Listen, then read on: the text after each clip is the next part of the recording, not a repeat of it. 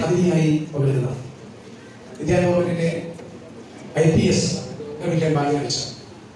ഒരു പക്ഷേ തൃശ്ശൂർ ജില്ലയിൽ ജനിച്ചു വളർന്ന് ജീവിക്കുന്ന ജീവിച്ചതിൽ